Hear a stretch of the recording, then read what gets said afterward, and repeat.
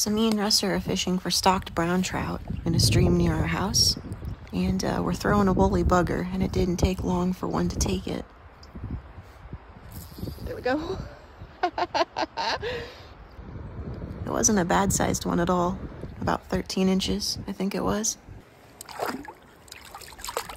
They were taking topwater flies pretty aggressively too, you can see in this clip.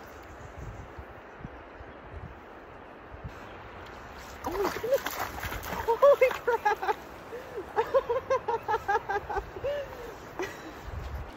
Anyway, I'm kind of new to making YouTube shorts, so if you guys like this video and want to see more, leave a comment down below.